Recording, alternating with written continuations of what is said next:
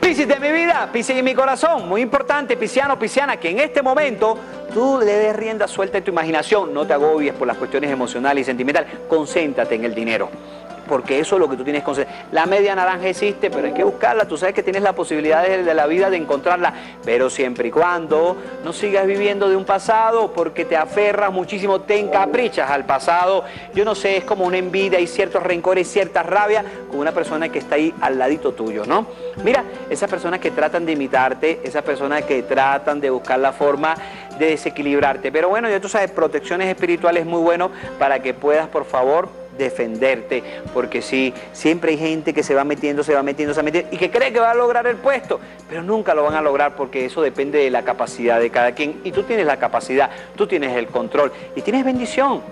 Entonces, cuando tienes bendición, tienes la dirección correcta, tienes la bendición correcta para que logres, te llenes de una energía positiva. Y es muy vital esto lo que te estoy diciendo, ¿no? Porque más que todo, tu imagen vale más que mil palabras. Y te has descuidado un poco, ¿no? Encuentras el atractivo, tu bien, tu amor y eso lo has estado luchando desde hace muchísimo tiempo.